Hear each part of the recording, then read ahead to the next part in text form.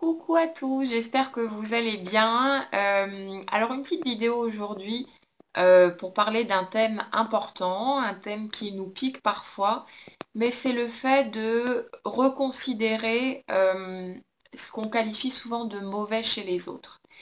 Quand on se retrouve confronté à une situation qui nous pique, qui nous blesse, qu'on trouve injuste, qui nous met en colère, on a très très vite fait de se mettre à juger l'autre, euh, de le qualifier de tout un tas de noms d'oiseaux aussi. On a très vite fait de le cataloguer, de lui coller plein d'étiquettes, que c'est une mauvaise personne, qu'il est comme ci, qu'il est comme ça, et ainsi de suite. Mais le truc, c'est que euh, sans avoir fait le chemin que l'autre a fait, euh, sans avoir vécu tout ce qu'il a vécu, sans avoir appris tout ce qu'il a appris, euh, on ne peut pas juger l'autre en fait parce que derrière ce que nous on va voir comme négatif, il y a souvent beaucoup de souffrance en fait, euh, beaucoup de choses qui ne sont pas encore en équilibre, qui ne sont pas en harmonie. Euh, il y a une personne qui n'est pas encore en paix avec elle-même, qui est dans la douleur forcément, qui est dans ses blessures, qui est en réaction à ses blessures. Et ça fait que tant qu'on ne va pas chercher de ce côté-là, tant qu'on ne va pas regarder au-delà de la façade, on ne peut pas se rendre compte de tout ça, on ne peut pas voir ce qu'il y a derrière le masque, et là on entre dans le jugement. Alors le jugement, bah, ça ne nous fait pas du bien à, nous non plus, hein, parce que forcément quand on critique, quand on juge, quand on blâme, bah, on se sent mal. Si vous observez ce qui se passe à l'intérieur de vous, c'est pas agréable, c'est pas joyeux, et donc la première personne que ça blesse finalement, c'est vous. Et le truc, c'est que euh, tant qu'on reste dans ces mécanismes-là, tant qu'on ne va pas chercher au-delà de la façade pour, euh, pour voir pourquoi est-ce que l'autre fonctionne comme il fonctionne, pourquoi est-ce que l'autre a fait ce qu'il a fait, euh, on continue à rester enfermé dans quelque chose qui nous bloque, euh, qui crée des tensions en nous, donc qui ne nous aide pas non plus à créer la vie de nos rêves et à être heureux tout simplement. Et on passe souvent à côté de choses importantes.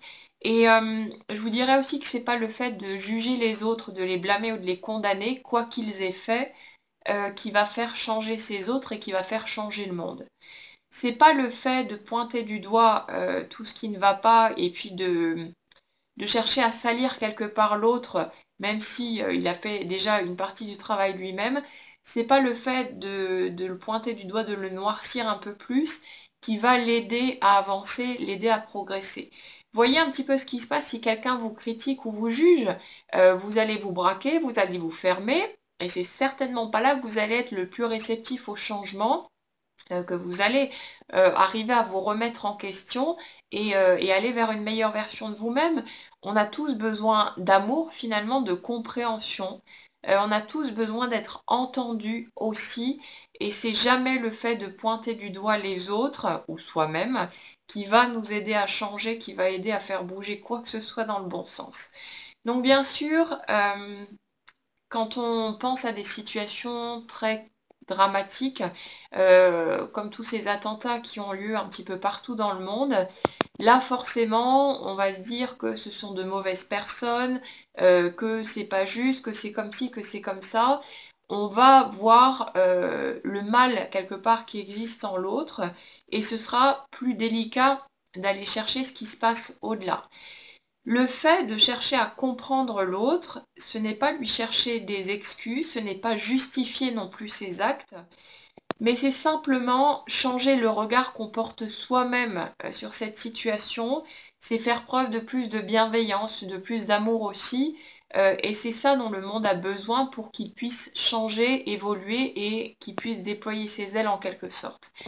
Euh, même si ça vous semble difficile, Faites simplement au mieux pour essayer de comprendre comment est-ce qu'on peut en arriver là, quel chemin il faudrait faire pour aller dans ces extrêmes-là. Parce que même si ça vous semble inaccessible, que ça vous semble difficile, euh, c'est la seule voie quelque part pour qu'on ait tous une chance euh, d'aller de l'avant, de pouvoir ouvrir nos cœurs, de pouvoir vivre de meilleures expériences et de sortir de ces pièges-là. C'est pas la haine qui va résoudre quoi que ce soit, c'est pas le désir de vengeance non plus.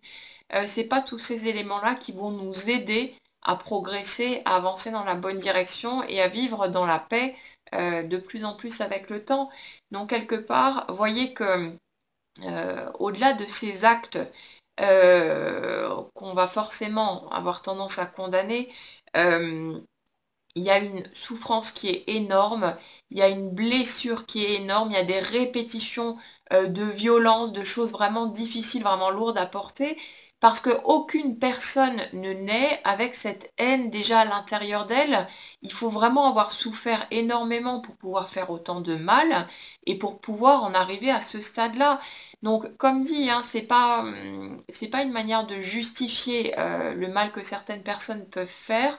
C'est pas une manière de les excuser, mais ça me semble la seule voie à suivre finalement pour trouver la paix soi-même parce que quand on, pose un regard de compréhension, de compassion sur l'autre, euh, ça permet soit de se sentir mieux, de se sentir plus en paix, plus en accord avec sa nature profonde. Euh, et c'est ça après qui permet de faire aussi changer des choses autour de soi. Donc ça me semble être la voie la plus, euh, la plus directe pour, pour, tenter de faire bouger les choses. C'est la seule chose à faire quelque part parce que c'est pas le fait d'alimenter la haine, la colère, la rancœur qui va faire bouger les choses et qui va aider notre monde à aller de mieux en mieux. Donc peut-être que vous ne serez pas d'accord, peut-être que vous ne pourrez pas entendre ce message-là parce que vous-même avez été affecté par euh, des situations dramatiques, des choses difficiles.